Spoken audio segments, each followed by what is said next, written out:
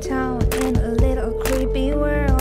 Little creepy girl with her little creepy face, saying funny things that you have never heard. Do you know what it's all about? Are you brave enough to figure out?